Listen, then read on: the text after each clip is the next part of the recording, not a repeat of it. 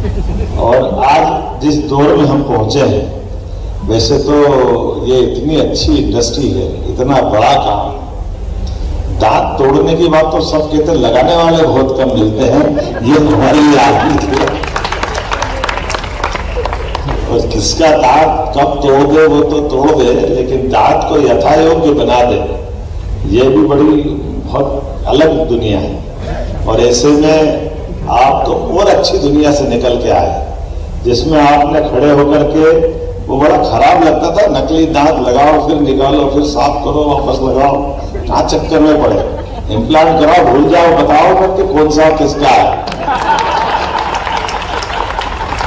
नकली भी इतना अच्छा लगता कि असली को माफ़ कर देता है। और अब आप तो और आगे बढ़ गए। ये और मज़ा आया। जब आपने, मैं भी आपकी इस प्रदर्शनी में घूम रहा था तो ये शाकाहारी दांत लगाने का भी अभियान चला, ये और आनंद आया।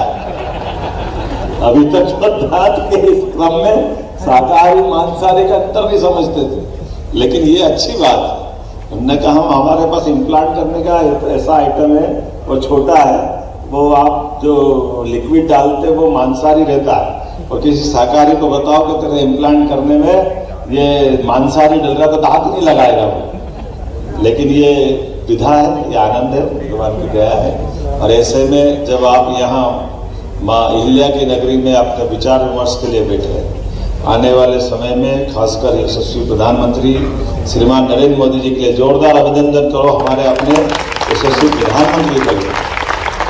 जो लगातार इनोवेशन के लिए, नवाचार के लिए, नवीन तकनीक के लिए और इतने अलग अलग प्रकार की विधाओं को प्रोत्साहन देते हैं।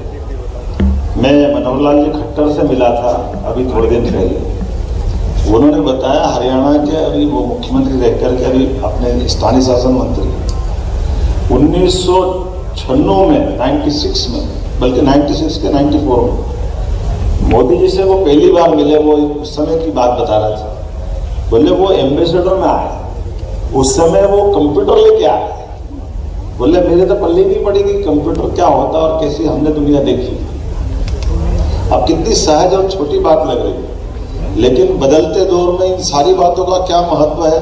आज के इस दौर में दांतों की दुनिया को लेकर बहुत बड़ा स्कोप। मैं अपनी सरकार की बताना चाहूँगा आपको, क्योंकि आपके माध्यम से बात दूसरी जगह भी पहुंचेगी हमने बहुत सारे नवाचार किए, हमारी सरकार में आते जैसे हमने हमारी सरकार बनाई, सरकार बनाते हमने एक तो पहले हेल्थ मिनिस्ट्री अलग हेल्थ एजुकेशन मिनिस्ट्री अलग। हमने कहा, ये क्या नाटक है? हेल्थ और हेल्थ एजुकेशन तो एक ही चीज़ होना चाहिए।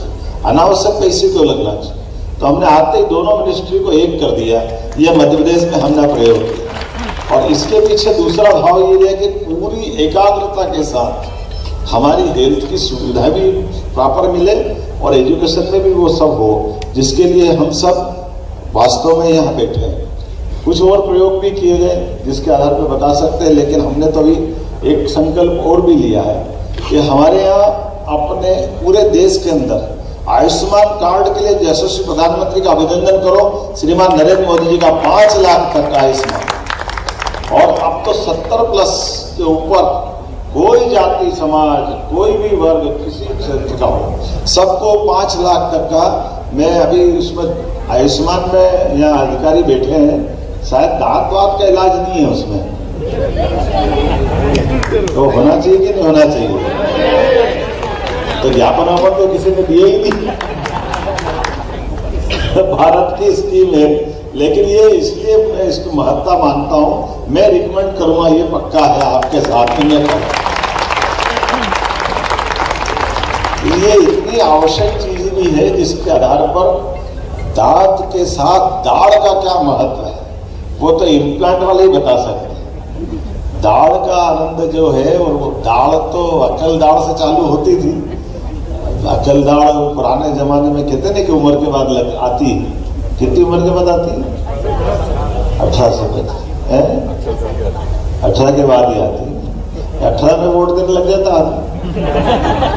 ठीक है, हमारी लाइन का आदमी मिल जाता। है तो लोकतंत्र को मज़बूत करने के लिए आपके सर्टिफिकेट की ज़रूरत है। अक्कल दवाई तो वोट देगा, नहीं तो देगा ही नहीं। ये कितना सुखद सही हो। क्या क्या रास्ते निकाले भगवान ने?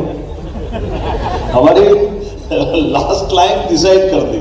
मैं आप सबको बधाई देना चाहूँगा दो तरह से, एक और कारण से। एक तो हमने अपने आयुष्मान धारी मैं नाम तो नहीं लूँगा, लेकिन अपोजिशन के, हमारे कई नेताओं के घर में अपने हेलीकॉप्टर से वो उतरते और उड़ते थे। ऐसे लोग भी हैं हमारे देश में भी कई लोग मिले। लेकिन हमारी सरकार ने एयर एंबुलेंस की सुविधा, प्रत्येक आयुष्मान धारी कार्ड को, अगर ज़रूरत लगती उसको लिफ्ट कराने की व्यवस्था हमारी सरकार ने शुरू की है। हेलीकॉप्टर पे एयर एंबुलेंस पे गरीब का हक होना चाहिए। हर एक जरूरतमंद का केवल कलेक्टर और डॉक्टर डिसाइड कर दे कि हाँ इसको ले जाना चाहिए, इसको कहीं और उन्नत चिकित्सा की व्यवस्था में मदद करना चाहिए। हमने शुरू किया है। कई सारी और योजनाओं में से एक योजना आपको बता करके मुझे और कार्यक्रम में जाना, मैं बोलने के लिए बहुत देर तक बोल सकता हूँ।